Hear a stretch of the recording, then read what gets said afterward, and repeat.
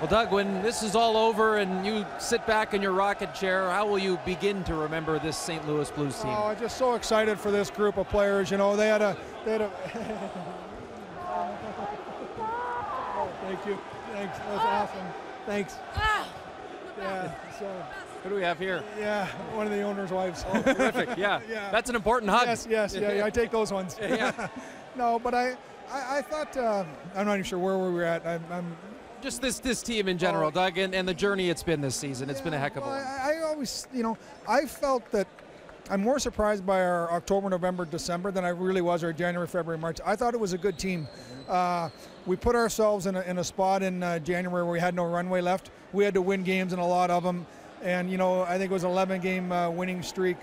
You know, uh, Binner coming in and just, you know, solidifying our team. And I thought Craig, everybody just did a great job. So it's going to look back 99 points, but it was a strange way to get to 99. And then in the playoffs, I felt that we were competitive every night. You know, our anytime we had adversity, the guys answered the bell, and uh, just so proud and so honored to work with these guys.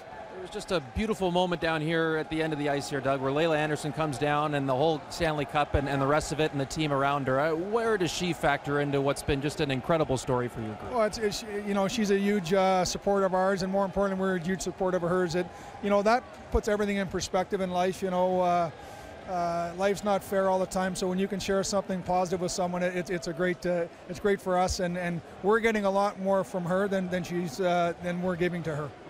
You were saying one of the things you learned about Craig Berube is that as much as you're trying to learn about how to get through to today's youth, it's just a coach that shows respect, that it's accountable, and allows the players to play. How did he get the most out of this team? Do you? Well, I, I think that, that that's what he does. He, you know, he doesn't overthink things. Uh, the players want to be coached. They want to be treated fairly and honestly, and they can take hard information.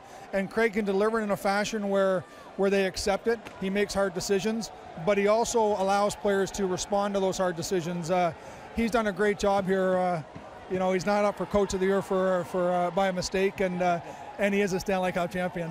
So finally, I'll ask you: Our hockey night cameras caught you up in the box late in the game, waving to someone. Can you tell us who that yeah, was? my my f- wife and uh, son and daughter were sitting there, and they were looking up, so I gave them a little hello.